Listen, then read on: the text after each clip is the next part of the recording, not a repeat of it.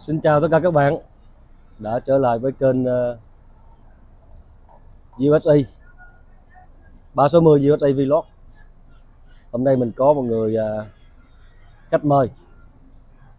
Anh tên là Phương.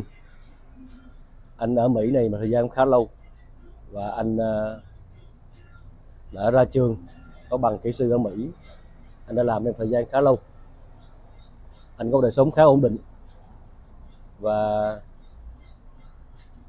anh à, làm chính phủ cho nên anh cũng sắp sửa retire về hưu sớm. Sau đây mình sẽ nghe bạn Phương uh, nói về uh, quá khứ của anh tí xíu. Rồi mình có những câu chuyện um, ở Mỹ cũng như ở Việt Nam. Anh Phương của anh cũng hay đi thỉnh thoảng anh cũng hay đi Việt Nam cho nên cũng biết một số chuyện đời sống ở Việt Nam. Xin chào anh Phương. Chào anh Lên. Uh, Cảm ơn bạn Lên có lời mời tôi phỏng vấn YouTube.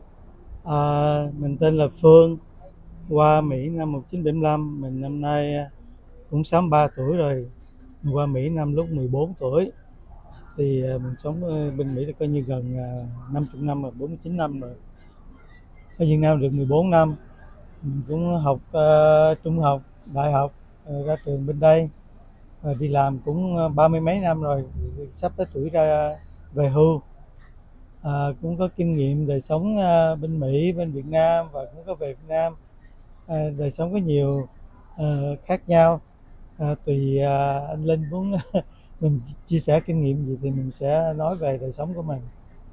Cảm ơn anh Linh. Hồi xưa anh anh Phương học uh, đại học trường nào? À, đại học uh, mình học cao State Long Beach. Wow. trường đại học của Long Beach. À, nằm ở gần đây Ây à, Long Beach thì nó cách đây chừng 10 mile. Là từ năm trên khoảng năm 1980 79 đến 83 82 gì đó. Yeah. ok đi ngược tí xíu. Anh ừ. anh nói anh đi là 75 Đúng. anh đi vào gì gì? Anh đi như thế nào? Ba mình ngày trước là không quân.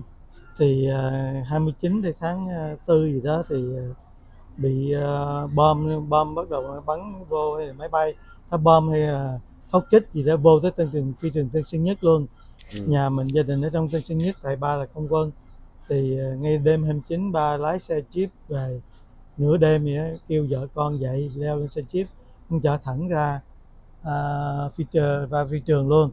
Ở nhà thì cũng có chuẩn bị quần áo đồ đạc trong mấy bịch hết uh, trơn rồi nhưng mà chưa có biết là đi ngày 29 tây là tính đi với gia đình.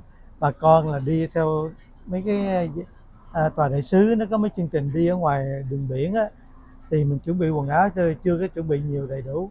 Nhưng mà thầy thả bom ngay đêm 29 rồi ba mới 28 29 tôi không nhớ nhưng mà mới chở thẳng ra phi trường rồi lên máy bay.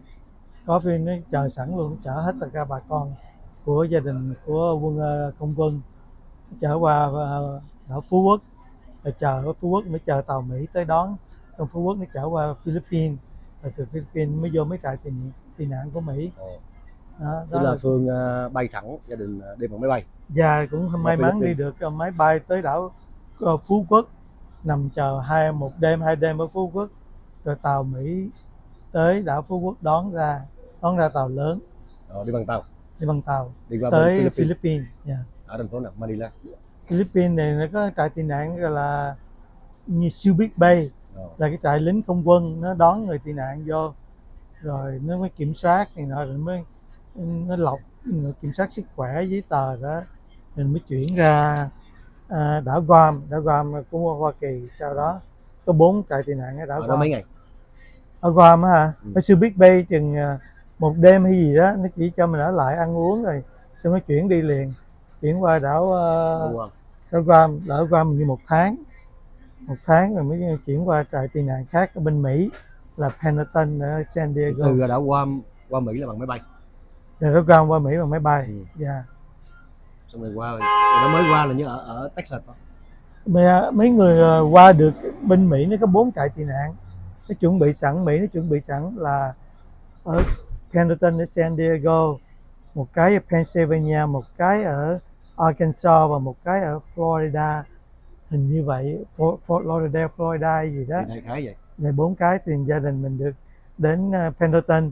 Thì từ Pendleton đa số được mình ở trong trại mình chờ một cái gia đình nhưng mà cái hội đoàn nào nó bảo lãnh ra khỏi khỏi trại thì mới được đi. À, đúng rồi. Thì đa số mấy người ở Pendleton là được bảo lãnh ra khỏi dùng California. Đa số là ở California Ờ. nhiều.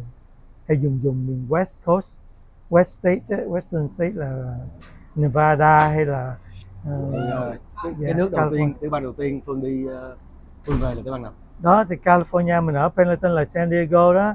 Thì mình được bảo lãnh ra khỏi trại là tới thành phố Bakersfield. Là được ờ, mấy nhà thờ tin lành Mỹ bảo lãnh. Thì ở đó được cũng một năm. Tại vì thời tiết ở đó quá nóng. Bakersfield nếu quý, vị biết thì nó sa mạc. như là sa mạc mùa hè thì nó lên tới 100 lẻ mấy là bình thường. Ừ. mùa đông thì nó xuống tới 30 hai mươi mấy độ là bình thường. Đó ai sống được thì ở tụi này ở sau được đó đó. là phương ờ, ở được một năm thì gia đình mới ờ, bỏ chạy về ờ, theo bà con ở vùng Anaheim về Anaheim ở rồi chạy qua chạy lại qua Long Beach ở rồi chạy qua nói Cypress chung ờ, xuống vùng miền Nam Cali. Xuống miền Nam Cali. dạ tại vì Bakersfield là khoảng miền Trung Cali. Phương ở miền Nam Cali là hơn 40 năm từ từ đó tới giờ luôn từ năm 1976 tới giờ luôn. Wow. Ở trong trại khoảng 75 lúc về xuống Anaheim là khoảng 76 là miền Nam Cali đó nhưng mà bây giờ tới năm 2024 rồi Việt Nam kinh tế lên rất là cao đời sống dân cũng khá lên nhà cửa thành phố tươi đẹp tiền tu bổ thành phố rất là đẹp. Nhà cửa khác hẳn ờ, mấy chục năm về trước